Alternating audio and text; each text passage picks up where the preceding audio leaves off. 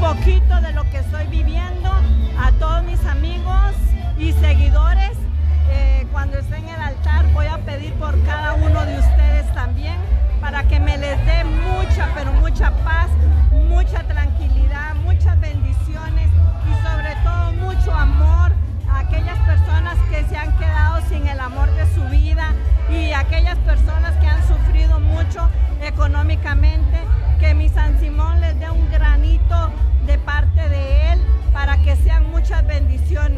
porque